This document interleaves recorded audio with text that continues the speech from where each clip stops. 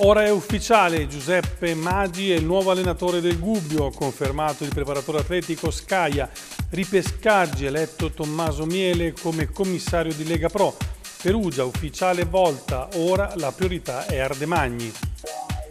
Il Gualdo Casacastalda ufficializza il direttore sportivo Gagliardini e l'allenatore Emanuelli.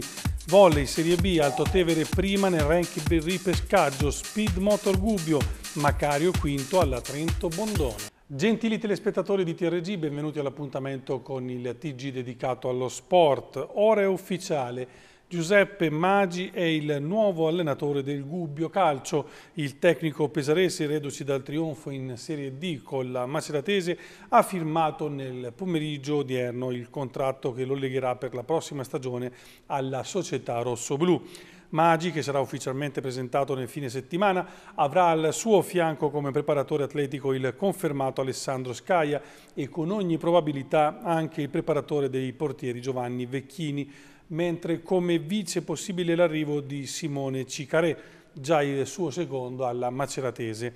Ora il DS Pannacci comincerà ad allestire la squadra per la prossima stagione con l'idea di eh, costruire la rosa per la Serie D lasciando vacanti due o tre taselli in caso di ritorno in terza serie. Per quanto riguarda i fuoriquota che dovranno essere quattro necessariamente in campo, fare i puntati sul portiere Volpe classe 1996 di proprietà della Juventus nell'ultima stagione alla Correggese per quanto riguarda i giocatori più esperti, continua la corte al difensore Marini, al centrocampista Croce e all'esterno d'attacco Ferri Marini, tutti in uscita dalla Maceratese.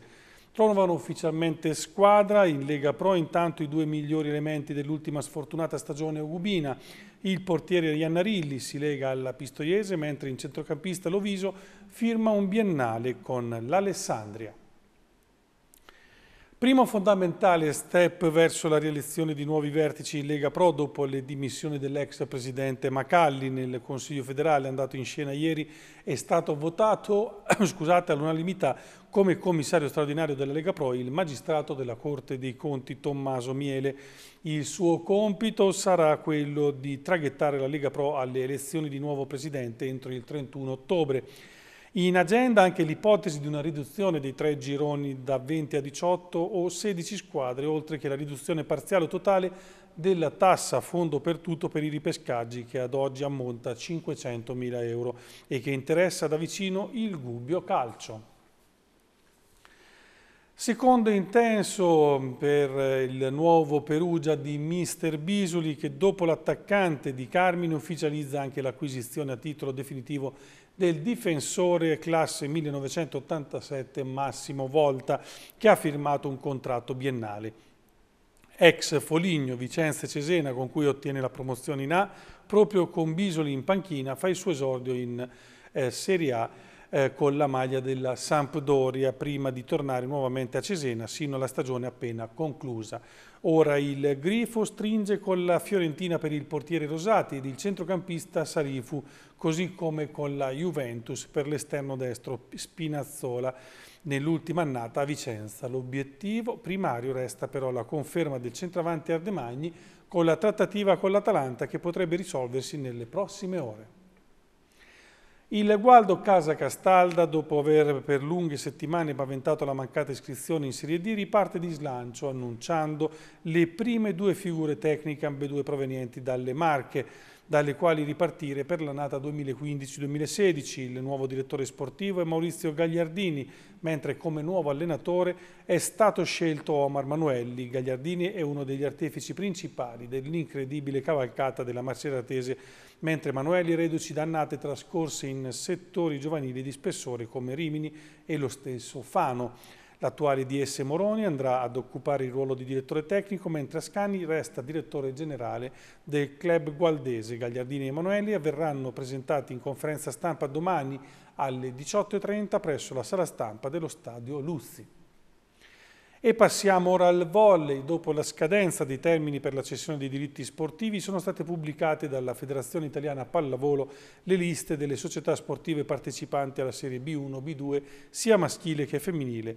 In B1 maschile sono 37 le squadre in organico con 5 posti disponibili e l'Alto Tevere Pallavolo è la prima in ordine di ranking per una possibile integrazione. B2 maschile al completo con 112 team al via e la Grardi Cartoedit Città di Castello è quinta nella graduatoria ripescaggio. In Serie B2 femminile si affronteranno la rinnovata New Font Mori Gubbio di coach Berrettoni, School Volley Perugia, Galletti Ponte Valle Cepi, Lucky Wind Trevi, Floreale Perugia e Todi Volley. La scadenza delle iscrizioni è fissata per lunedì 13 luglio, dopo il 17 luglio le società che non risulteranno iscritte saranno automaticamente escluse dal campionato nazionale. Entro il 21 luglio si procederà agli eventuali ripescaggi, dopo il 26 luglio saranno pubblicati i calendari. Motori, bilancio positivo per la Speed Motor di Gubbio, la 65esima edizione della cronoscalata automobilistica Trento-Bondone, prova di campionato sia italiano che europeo di velocità in montagna. Ottima performance per Pari De Macario che ha colto un brillante quinto posto assoluto, piazzamento fatto registrare peraltro anche nel corso dell'unica sessione di prove ufficiali disputate causa maltempo. La scuderia Ogubina non agguanta il trofeo per scuderie che va alla V-Motorsport, ma hanno i loro buoni motivi per sorridere anche gli altri due portacolori della Speed Motor che correvano in casa. Il campione italiano in carica della E2M Adolfo Bottura si è piazzato nono assoluto e anche Giancarlo Graziosi ha colto il terzo posto nella classe 2000 della E2M.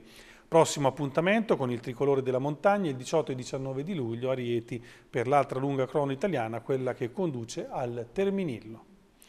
E chiudiamo con il podismo in arrivo, la nona edizione della corsa tra i Monti de Gualdo, organizzata dall'Atletica Taino con il patrocinio del comune di Gualdo Tadino che si svolgerà domenica 12 luglio sulla Valsorda di Gualdo Tadino. Il ritrovo è previsto per le ore 8 e l'evento consiste in una corsa competitiva in montagna di 10,2 km che prenderà il via alle 9.30 per una passeggiata ecologica non competitiva aperta a tutti, sempre di 10,2 km che partirà invece alle 8.30 una corsa davvero unica in mezzo ai boschi e ai prati della Valsorda al confine tra Umbria e Marche con un suggestivo paesaggio nei pressi dell'eremo di Serra Santa a quasi 1300 metri sul livello del mare.